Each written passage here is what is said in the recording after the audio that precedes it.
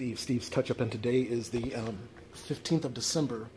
I'm doing some touch ups. I'm back at this home down here in uh, Paradise Valley, and you can see the damage done to the to the cabinets off of these arms, off these bar stools.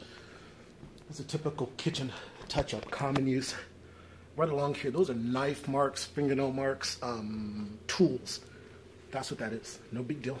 Then over here, got some damage there. I'll see if I can color that all in. But I've got to do burn-ins today. And uh, that's basically it all, along here.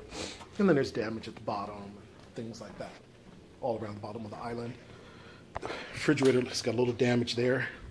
If I go over this way, a little bit of damage there. So I'm going to start uh, burning in. I've got to do some repairs. I'm Steve, Steve's Touch Up.